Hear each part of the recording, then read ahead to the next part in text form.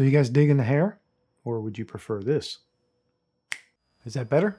Is that what you were after? Okay, so for those of you who have been having a complete hissy fit over the growth of my hair for the last year and a half, here you go. I finally got it cut. And I have to say, feels pretty good. Probably gonna have to retrain it.